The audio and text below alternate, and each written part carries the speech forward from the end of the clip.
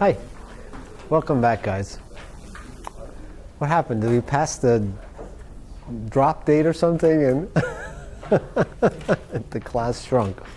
Well, it's good to see you, the ones that are here. Um, today, uh, I want to talk to you guys about a concept that uh, was fairly instrumental in my own career, which was the idea of generalization. The idea that uh, when you look at a biological system and you see how it learns, can you say something about the region of the brain that might be involved in learning that's taking place. And the mechanism by which uh, um, we made progress was toward this concept of generalization, which means that uh, you know the learner is learning from error, makes a guess, sees an observation, forms an error, updates his belief, and then you look to see how does he change, he or she changes his belief, his or her belief about other things that it hasn't seen. And the way it generalizes says something about the shape of those basis functions. And uh, those basis functions are what was interesting to us because we wanted to say something about different parts of the brain. Different parts of the brain have different kinds of basis functions. And so, can one make estimates of what part of the brain is being used? So, um, to start out, uh, there was one thing that I remember from yesterday's, uh, on last week's lecture, that I, that I wanted to go back to because I think it's an important idea that uh, um, you may want to know since many of you guys will decide to take your um, oral exams with me when you want to pass your uh, qualifying. So I want to I want to distinguish between two concepts with you. Um, when we have a random variable x that's made up of x1 and x2, each one a random variable, when we say what's the variance of x, well, what we do is that we find the variance of x1 plus variance of x2 plus 2 times the covariance of x1 and x2. And this is something that um, uh, we've described. And, uh, but that's very different than writing a probability distribution that's made up of two different distributions. So for example, on, on last week we talked about having a probability distribution, P of x, that was made up of rho 1 times a normal distribution with some mean mu1 and some variance sigma 1 plus rho 2 another normal distribution with mean mu2 and sigma uh, sigma 2. So um, for example, you know, we have a distribution that looks like this. Right? So here, what I mean by variance is very different than in this case. And just to show you that, I want to go through the math to describe what is the variance and expected value of a random variable that's, that's described as a sum of two distributions, which is very different than a random variable that's a sum of two different random variables. Okay, so let's, let's go through this to understand what this means. So what's the expected value of x in this case?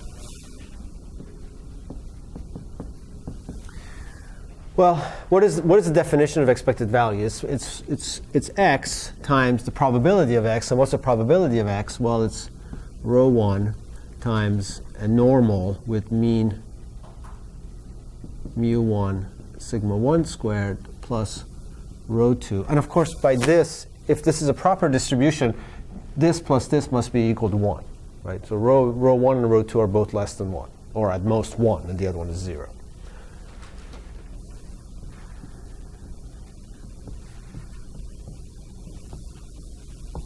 So that's what we mean when we say expected value. And because this, this integral, um, uh, I can take the expected value inside and divide it and separate it. What I have is that x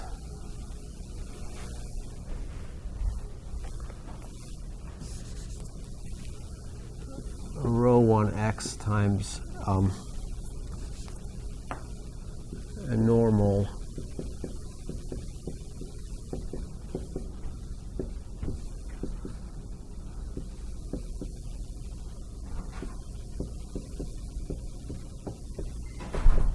So that's just equal to rho 1 times expected value of x, which in this case is mu 1, plus rho 2 mu 2. So that's fine. The expected value of x is just a weighted, um, weighted means of these two distributions. What about the variance of x? Variance of x is equal to the expected value of x squared plus expected value minus expected value of x quantity squared. So what's expected value of x squared? That's just equal to rho 1 integral of x squared times a, a probability of normal mu 1 sigma 1 squared dx plus rho 2 integral of x squared normal mu 2 sigma 2 squared dx. And this, these integrals are from minus infinity to infinity. And that's going to be equal to uh, rho 1 um, mu 1 squared plus sigma 1 squared plus rho 2 mu 2 squared plus sigma 2 squared. So therefore, variance of x um, is going to be equal to um, uh, this minus this squared.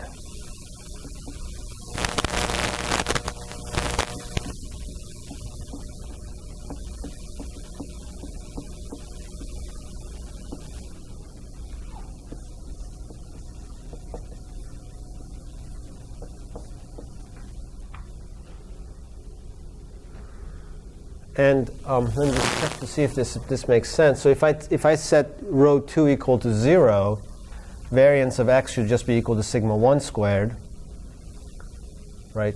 And that's uh,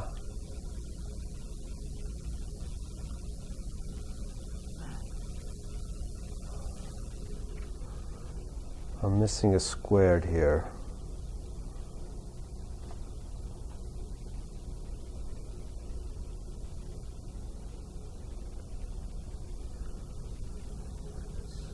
Let's see.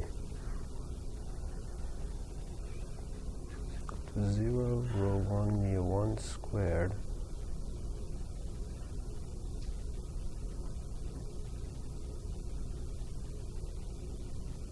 oh yeah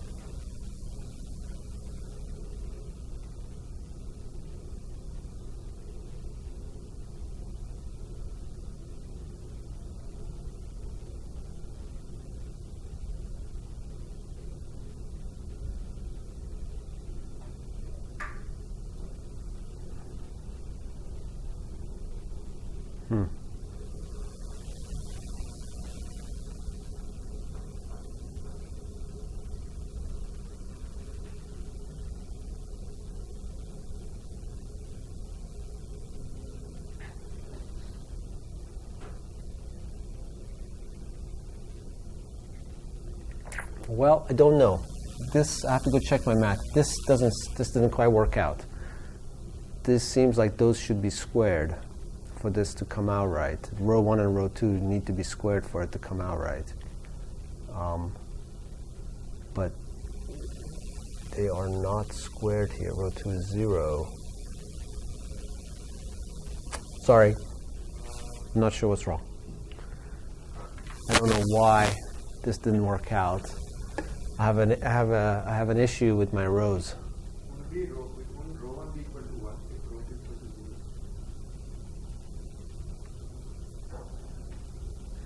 That is true, so then it doesn't matter, does it?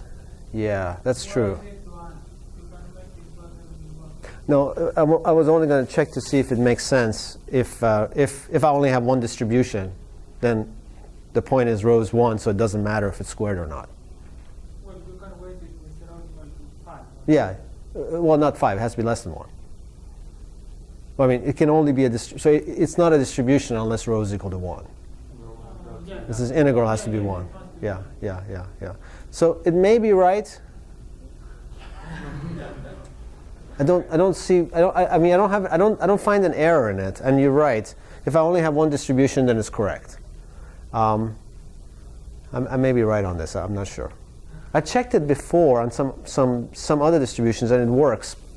But I was just a little confused here because of. Um, having a single distribution, I thought, the, I thought algebraically things would cancel, but of course they don't cancel unless rho is equal to 1. Which has to be, otherwise it's not a distribution. All right, I will check this and I will come back to you guys on Wednesday. I think it's right. but not 100% certain. So anyway, the point being that um, um, when you have a random variable that is a sum of two random variables, its variance is very different than if you have a distribution that's a mixture distribution. And this is a mixture distribution. It's a mixture of two different, two different uh, Gaussians in this case. All right. Um, so let's go back to another thing that we talked about yesterday on, on Wednesday, which was that um, when we looked at the loss function, from the experiments that we saw from uh, uh, that paper where they estimated loss function for, for individuals, they said that it looked like this. y tilde to the 1.75. So the error is not quite being squared. It's being raised to a power less than 2. So I want to show you what this means from the point of view of how much you learn from error.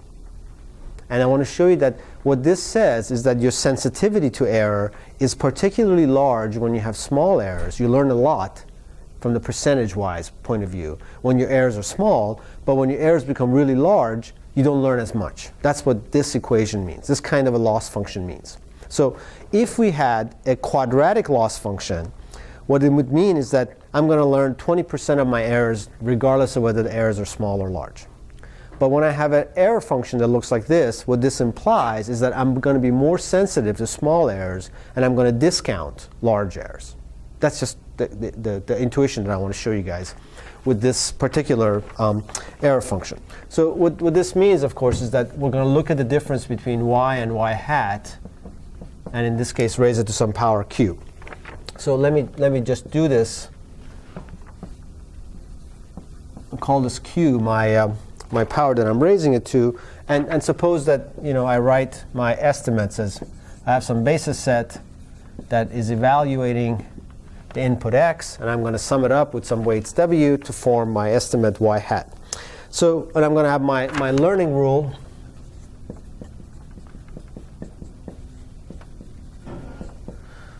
Um, where let's just worry about the first derivative.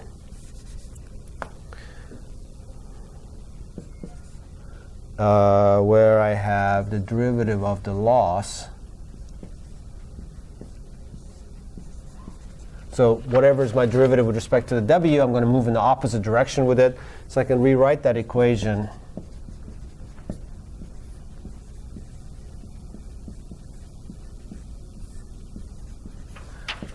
Find, it, find its derivative with respect to my estimate, do the chain rule, and write it like this. So I'm going to define sensitivity to error as how much I change my weights from before when I made a prediction to after I made the prediction. So I'm going to say w hat of n plus 1 minus w hat of n is the change that I made in my belief divided by the error. So how sensitive am I to that particular. I'm going to call this variable sensitivity to error. This change divided by the size of the error that I had. So if I do that, um, yeah. You need to like take the numerator and magnitude or something, or just take like it's actually. I'll show you. It's going to be a function. Oh, okay. It's going to be a function because weight is a vector, y is a the w's are vectors, y is a scalar. Right. Yeah. So it's going to be it's going to be a vector in this case. Um, okay. So that's just uh, equal to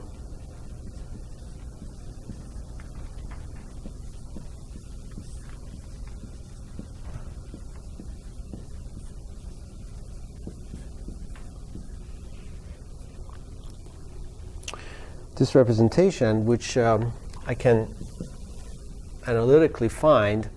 So the derivative of the loss with respect to y hat is, assuming that I'm going to write it in this form, is going to be equal to minus eta times q times um, its absolute value raised to the q minus 1.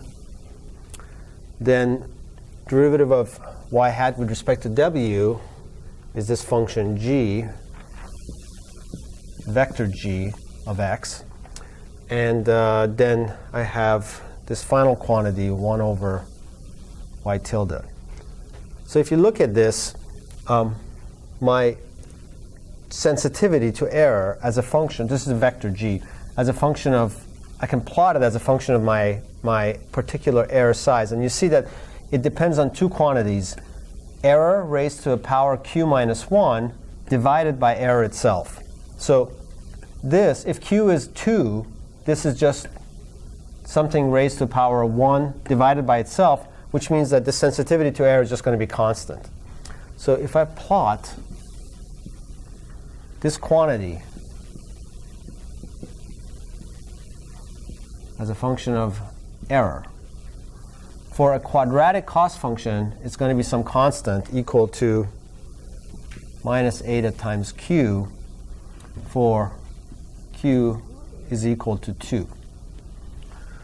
But for this particular one, where q is less than 2, what's going to happen is that this is going to be a number that's going to be q minus 1 is going to be 0.75 divided by q. You're going to get a function that looks like this. It's going to be high here, and it's going to fall as y increases. So this is for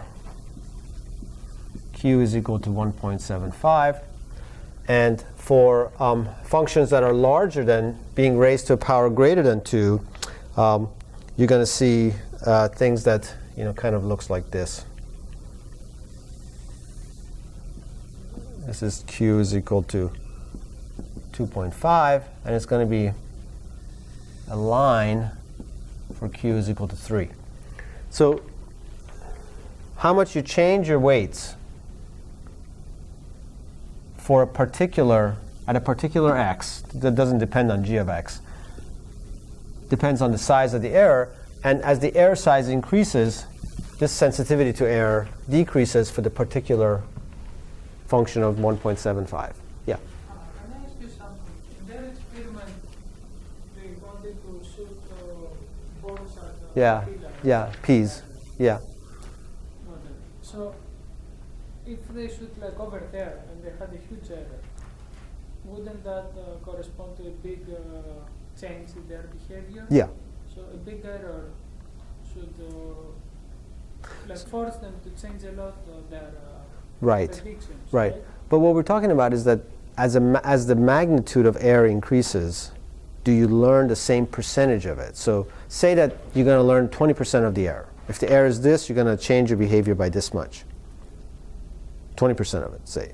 Now, if the error is small, do you also learn 20% of it? If you have a quadratic cost function, that's what you would do. You always learn the same percentage of it. But if your cost is being a power of less than 2, loss is less than 2, what, what, you what, what it means is that you're going to learn, as a percentage wise, a larger proportion of small errors than large errors. Effectively, you're going to ignore very large errors as being outliers. That's what, that's what uh, people seem to be doing as well. Yeah, I, mean, I have not read their paper, but I still find all of this information that it might work in this case, but not in another. Absolutely, yeah. So, so the reason why I wanted to show you this is because um, uh, this paper was the, the original paper that described this particular loss function was published in like 2004 or something like that. Then a few years later, we did an experiment where we actually gave errors. We controlled error sizes. Given a particular distribution of uh, uh, perturbations, we controlled the error size and we saw, we asked, what percentage of each error were, they, were people learning? And what we saw was that they were more sensitive to small errors than they were to large errors, which then made us go back to that study and say, well, that's actually consistent with that study, that the loss function is not a quadratic but something smaller. It's discounting very large errors, basically. Possibly um, implying that you know, very large errors are unlikely to be sort of your fault, just outliers. So um, this idea uh, simply you know, comes from this particular, particular loss. All right, um, let, me, let me switch gears, and um, I want to talk about generalization and how we're going to estimate generalization. And so I want to give you the, the framework that I want to pursue. So I described some basis set G here.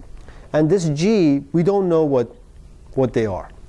all we can see is that the learner makes an estimate. You, you, you, know, you give it, you give it, you query the system. You say X, give me Y, and they give you Y. You give the truth to them. So there's an error between the two, and so then they up, you know, they estimate their, their weights. Basically, they change their weights. And the idea is that they will take that error and change their weights everywhere, not just at the particular X that you gave, but it will affect everything. And the question is, well, how are you going to understand how that information got spread?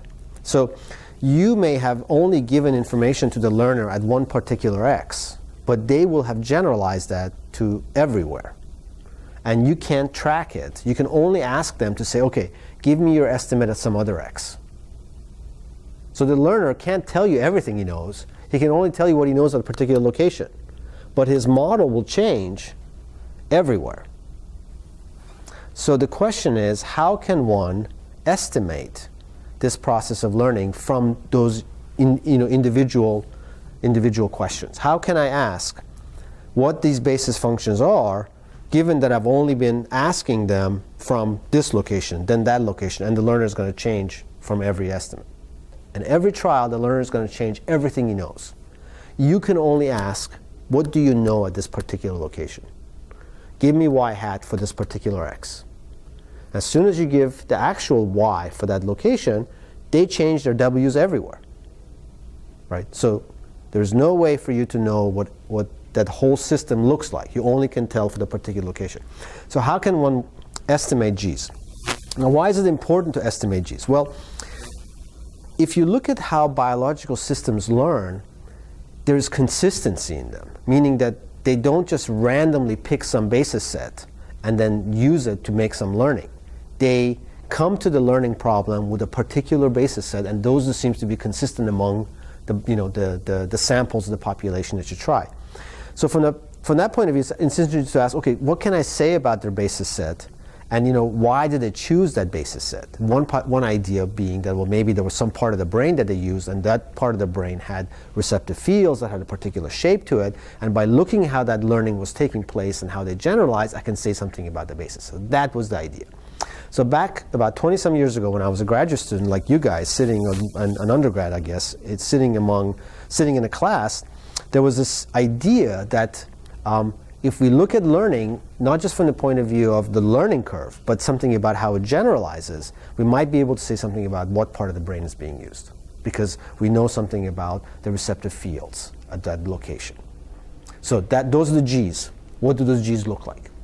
So um, a few years later, we came up with a very simple technique to estimate not G's, but something that's related to G's, which is called the generalization function, which is the way that information that you got at a particular X gets spread out to the other parts of the model that you have. And that's what we're going to do today. And by the end of the day, what you guys are going to end up with is a simple set of tools that you're going to use. So i have given you a data set for your homework where all you have are basically what a learner would have. You have X input, you have Y hat, the learner's estimate, and you have error. And you have a sequence of examples like this. And from that, you're going to estimate what the generalization function looks like. How do they learn that experiment? So, okay, um, let's, let's try to formalize our problem. We want to say something about G's and what they look like. In the very simple case, you know, there may be narrow, there may be broad. So we have y hat is equal to w transpose, this is a vector g of x, this is a vector g. And you know we have our our um, our, our, simple learning rule, which uh,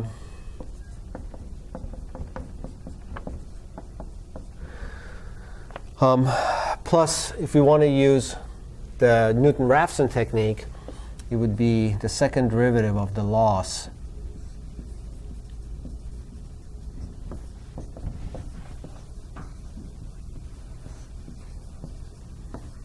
something like this. So when we uh, write it in a single trial, it looks like this times the error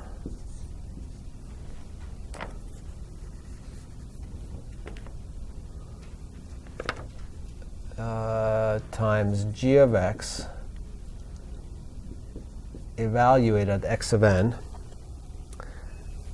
times g transpose of x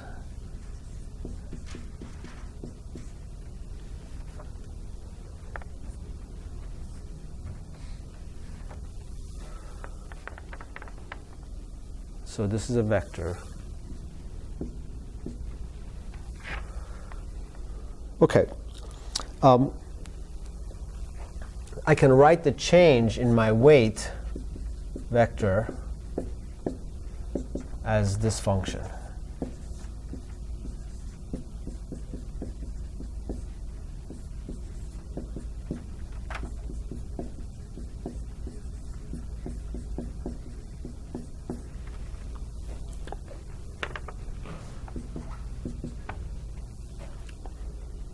Okay, so if I now pro- project the change in my weights onto the output space, the y space, so now the change in y is going to be equal to change in my weights times g of x. And this is a function. Basically, it says you figured out this vector, this change in your w, project it onto your g space at any x, and I'll tell you how much your change, um, how much change did you get in your output y. Uh, sorry, this is y hat. So to give you a sense of things, so here's some function that I'm trying to estimate. Here's, here's x. Let's say I ask you now to tell me something at this location, x n. You say, here's my prediction. My prediction is this, this number here. This is y hat at x of n. On trial n. So here's your error. This is y tilde. You're going to learn from that error and you're going to change your estimate now. Next time, you're going to you're going to become a little bit better. Maybe move up to there.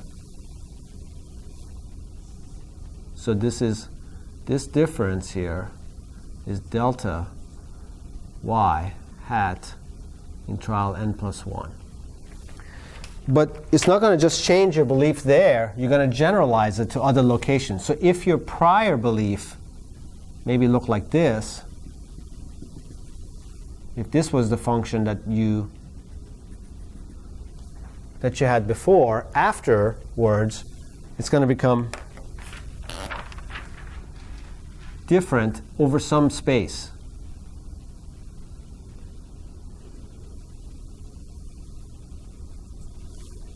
Over this region.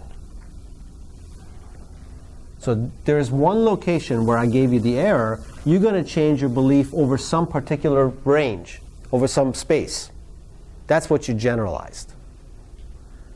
And the difference between y in n plus 1 before, after the weights changed and y at time n before the weights change is what you generalized, is what you learned, which is this, this quantity. So it's my change in weights times the basis set g that gives me my new y hat. And that y hat now is a function. So the difference between the red and the black is in some region. And that, that's, what I've, that's what I've learned. And the width of that and shape of that somehow depends on what? It depends on these g's. So if I were to write that, so what is this? Delta y hat of x is this function, eta, times the error g of x of n times this normalization minus 1 times g of x. So I'm going to call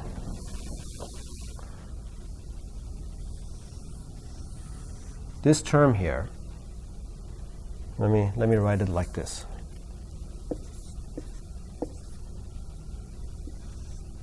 this is a function. I'm going to call it b of x and x of n. x is the place that I'm evaluating my new belief. X of n is where I saw the error.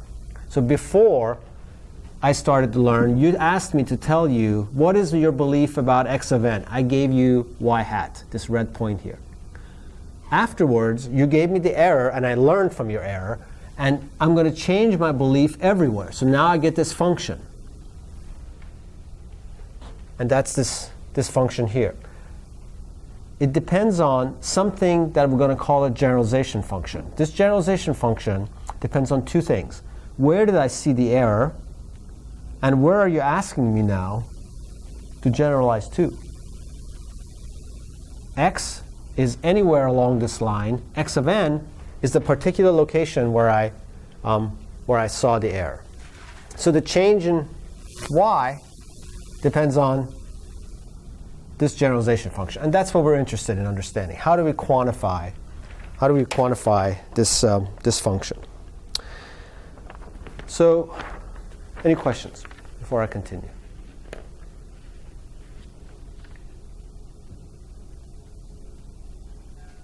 Okay, so you're going to have some data and you're going to ask yourself, all right, well, how do I quantify a function that looks like this? Well, we need to parameterize things. It's a two-dimensional input space, x and xn.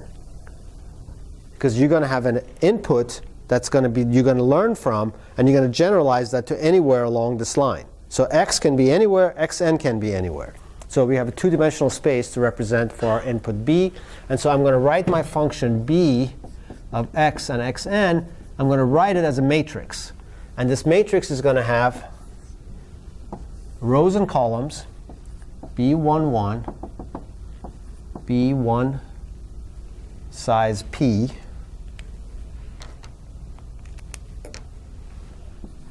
and B PP and B P1. It's going to be some numbers there. We're going to have to estimate what they are. And what is what is the um, the the rows? The rows represent the quantity x. The columns represent the, col the quantity xn. This is xn tells me the location where I received the error that I learned from. X is the location where you're asking me to generalize to. So to describe this, what we're going to have to do is take my input space, take input space x, and divide it into p equal no, uh, locations. So we can just digitize, digitize your input space into p different places. And if you do that, um,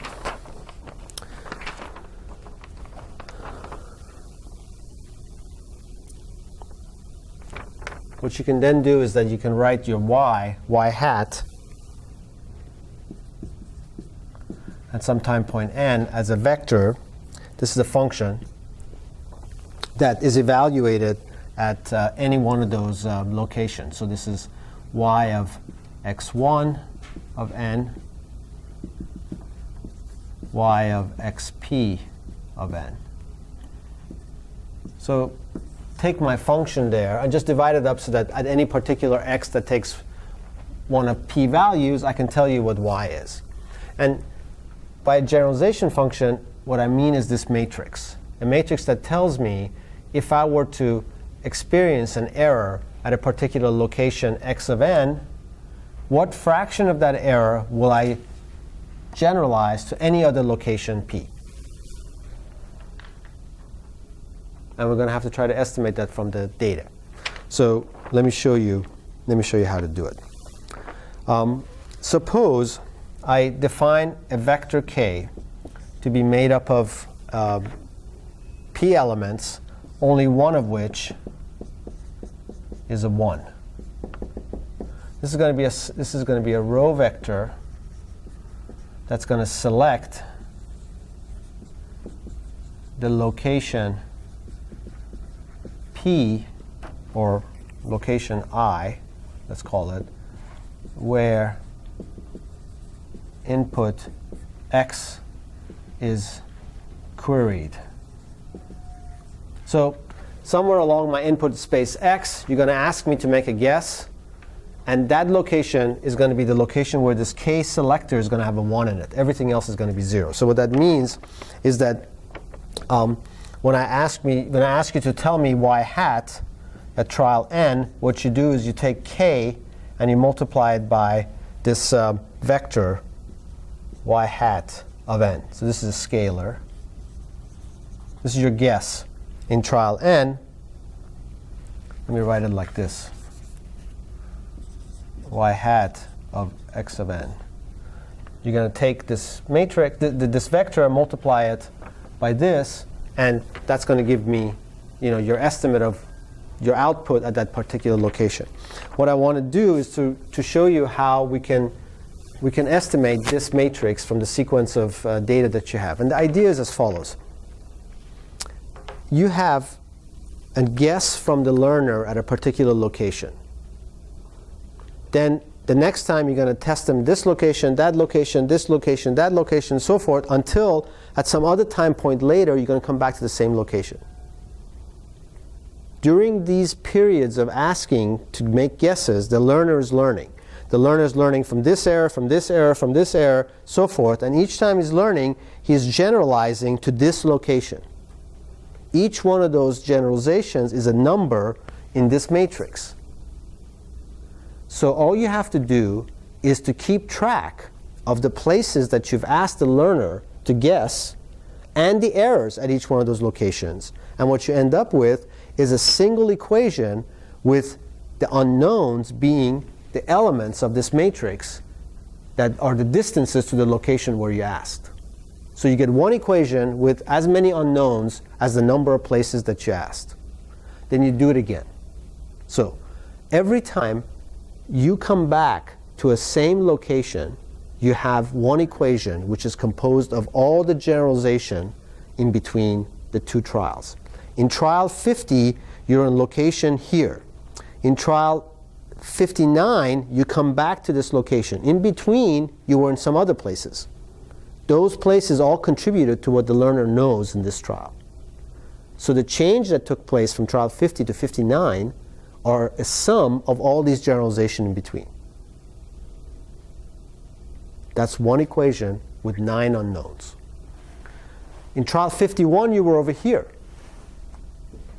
And at trial 73, you come back to that location again. In between, you have all those generalizations that took place. You have another equation with a bunch of unknowns. So we end up with many equations and far fewer unknowns, as long as we have a space that can be quantized in this way so that we come back to that location over and over. And by keeping track of that, we end up with a set of equations that we can solve and we, we end up with um, our estimates of these B's. So um, it looks like this. So on trial K of n, you have the same thing at trial Kn plus m. So in trial K, I'm at some location, and then m trials later, I come back to the same location. Okay? In X space. I'm asking you again, what is this? What, what do you know at this particular location? So my y hat sub i of n is k of n uh, y hat of n. ith element of this of this of this vector is chosen by this selector matrix selector vector k. My error is y of n minus y hat of n sub i then what I learn, why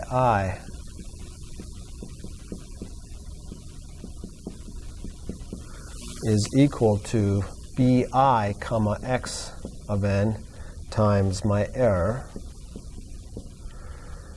And then similarly, yi of n plus 2 minus yi of n plus 1 is equal to bi x of n plus 1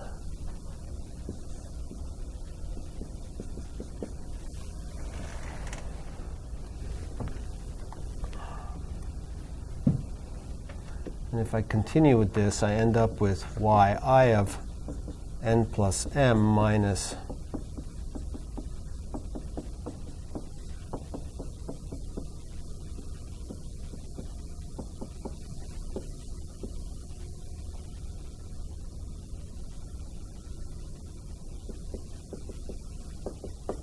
So if I sum these equations up, what, I, what you will see is that these, these things cancel. What I end up with is this minus this, which I will write here. So yi of n plus m minus it's going to be a sum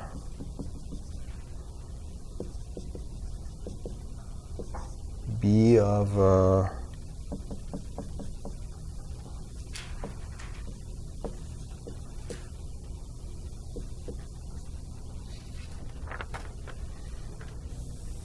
is, a, this is one equation with n plus m minus 1 unknowns.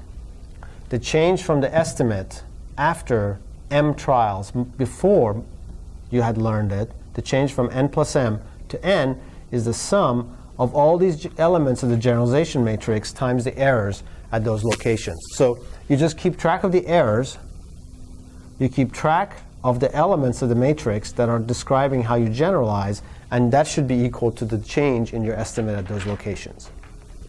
Yeah. What are you indexing y with again? So our, our representation of y is a vector. So on any, on any particular trial, I can ask you, tell me what you know about this location. Right? But in fact, what you know is a whole vector. You don't, you don't just know one location, you know it everywhere, right? So yi means at that particular location associated with x, the element yi. It's either, it's one of these guys here. So basically, you're treating like. Well, you're, you're treating y as a function that you've now discretized. Yes, exactly, exactly. That's what that means. Okay. Right. Yes? Um, the is M arbitrary? Or is, M, M is arbitrary. is As long number as, lo- trials you've learned from. as lo- that has come back to some initial location. So, I guess that's what I'm Okay. confused about. Is Okay. Okay. So, all right. The key assumption here is this that at n and n plus m, k is the same. Uh-huh. Which means that whatever discrete space you have, if you're here to begin with, at some point you've returned to it. Why is that necessary? Because- that? Because um,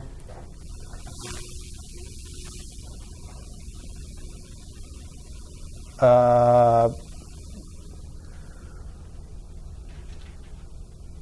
yeah, the reason is because you don't know any of these intermediate elements. You only know the beginning and the last one. So why is it that you don't know the intermediate elements? Because you know, I've asked you, so in trial n, I asked you about this location. In trial n plus 1, I asked you about this location, but my equations are all written about this equation, this location. So in trial n plus 1, I ask you about here, but I'm keeping track of what you know about here. I can't measure it until I come back to it and measure it So again. You can only measure the output Yes. on a trial that you've learned Right? from. Right. Does, does, it, does that make sense? So Why- you. why- so why couldn't you just probe the Because, that, because then they learn from that. equ- So, so as soon as. without giving feedback? Okay, so I'm assuming that you can't do that. Okay, right. Right. So a real biological system, as soon as they make a guess, the environment gives them the truth. Right. So, good point. We're making the assumption that the learner will learn everywhere, even though you gave an input to one location. And you cannot know anything about what he's learned except at the location where you've asked them to give you a guess. Okay. Yeah. So uh, why is it always like a fixed, you know, length m to return? Why M can't- change. Yeah. I mean, It's arbitrary, doesn't matter. But as long as you come back to it once. Like- Yeah, of course, of course, yeah, yeah. It's just a random sequence of guesses that you're asking them to do. Right. Okay. So why was this cool? All right. So um, in 1991 or something like that, uh, uh, one of my professors, his name was Tommy Poggio, he um, used this idea, not this idea the way I've written it for you, but the idea of generalization to make a guess about a specific kind of learning. And here, here was the experiment. So what they did is, um, I'm going to erase this.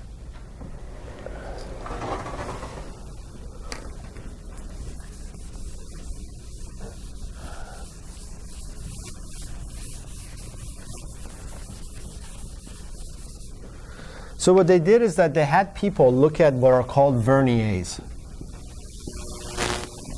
And what, what that means is that you look at a grating that is, this is something like, I think the distance between these is something like, I think, 2 or 20 second arc.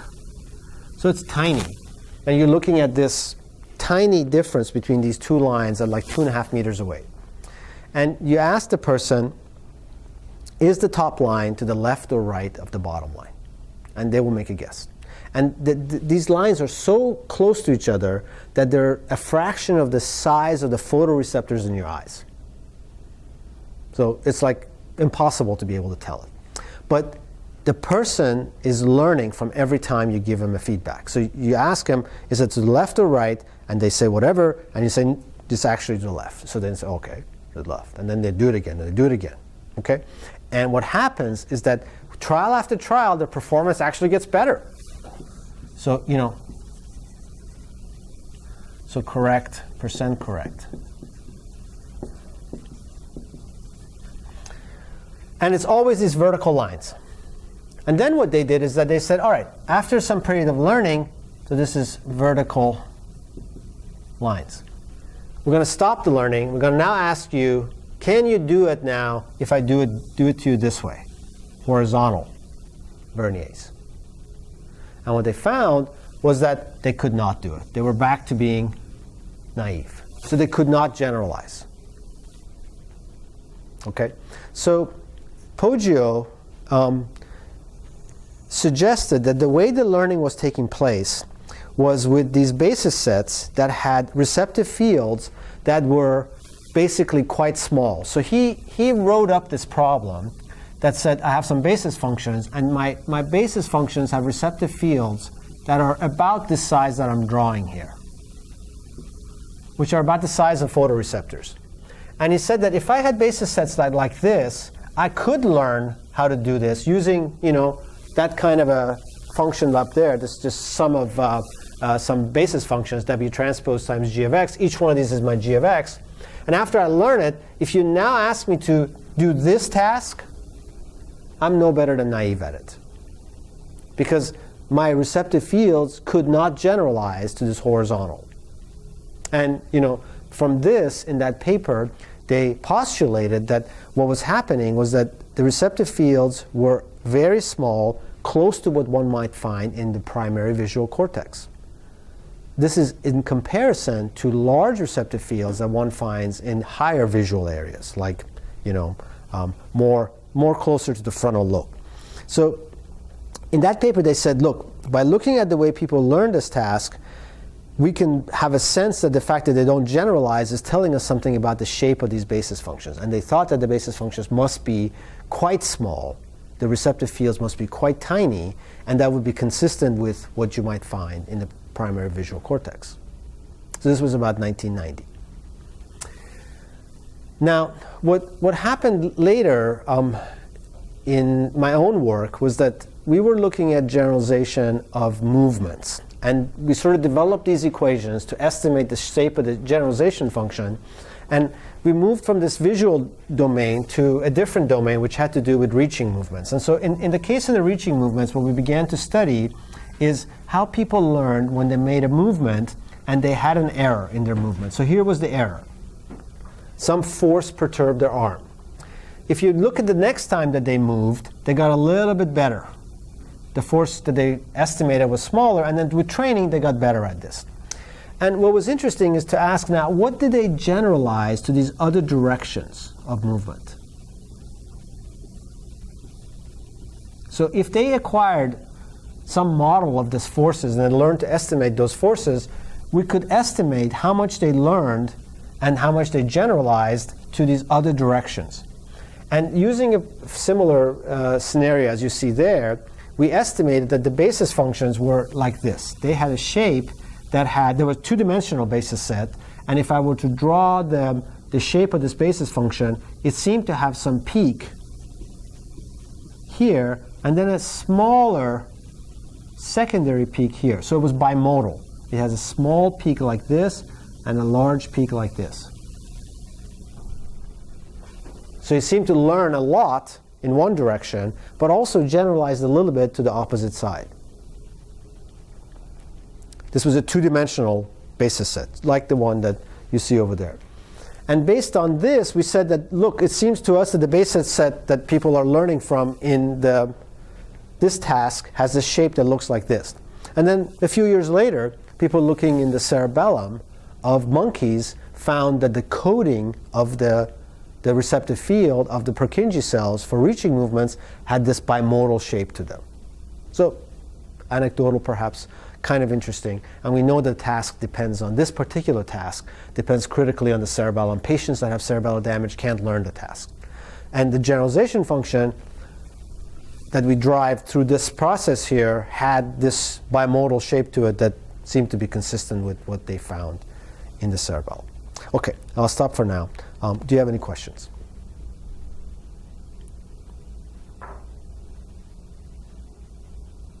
All right. So the basic idea is that by keeping track of the errors and the inputs and the guesses that the learner makes on every trial and fitting it to basically a linear set of equations in which you have a set of unknowns that estimate how you generalize from any location to any other location, you'll end up with a set of equations that should be able to estimate the generalization function. That won't tell you the basis set, but they'll give you something pretty close. Okay? All right. So you have a homework that's like that. Thank you very much.